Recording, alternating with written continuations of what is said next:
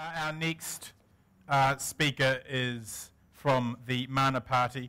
Um, she is easily one of my favouriteest politicians in the country, quite frankly. Uh, she will win the seat of Waiariki in six months' time. Ladies and gentlemen, Annette Sykes from Mana.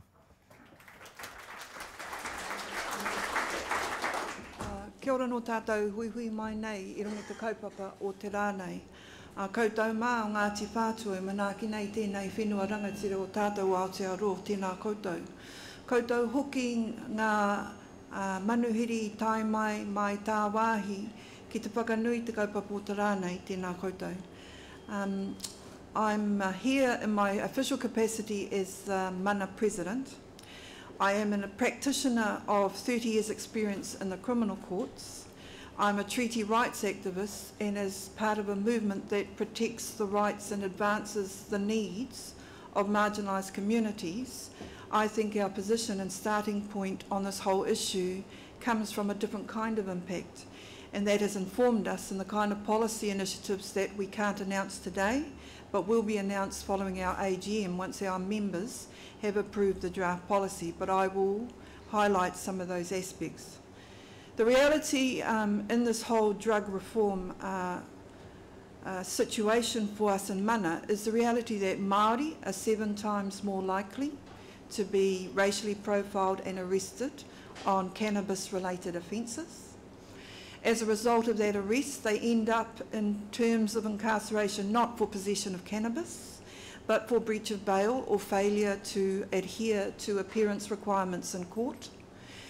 Following a term of incarceration, it is very unlikely that the health needs of any perceived or actual problem are special conditions of parole. So therefore, when we start on a particular policy like this one, we want to see how the mass incarceration of Māori and Pacific Island people are going to be alleviated in the kinds of reforms that are being pro proposed. The second issue is that the treaty is fundamental in the founding of our movement. So when we started on the cannabis reform issue, we looked to how cannabis was invited into the communities in this country, and amazingly Queen Victoria again who was so pivotal in the treaty, was the person that had suggested to the nuns of the Upper Whanganui River that they bring cannabis into that community to assist in rongoa as a period pain alleviation for stress and harm. So um, for us in our developing of a policy, uh, we then said that for those kinds of substances to become part of our communities, there must be seen to be some well-being or health benefit from that. And we need to balance any policy against the fact that there can actually be negative and um, ill health outcomes like um, the great consumption of tobacco and alcohol, like the great consumption of fast foods, that will need some regulation to ensure that those communities are not negatively impacted upon.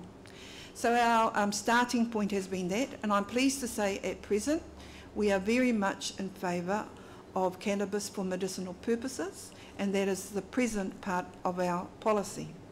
Now moving to the psychoactive substances bill, and I hope after this con conference I don't, my nickname Cyclone doesn't end up being psycho.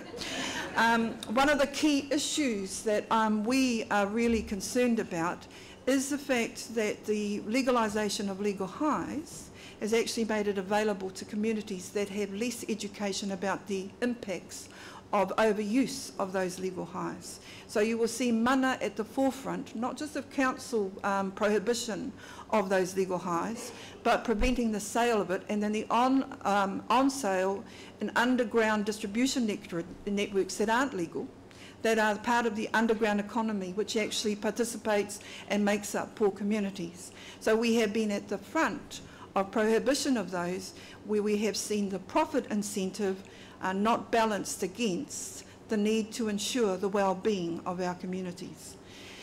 Finally, in terms of our proposal, um, I, I, I, personally am in favour of decriminalisation. I want to say that, but that is a raging debate amongst us in our movement. What I can say is that we will be guided by our members and our communities on that issue, but as a starting point, te oranga o te tangata, the well-being of the individual and the family will be our guiding value. Kia ora.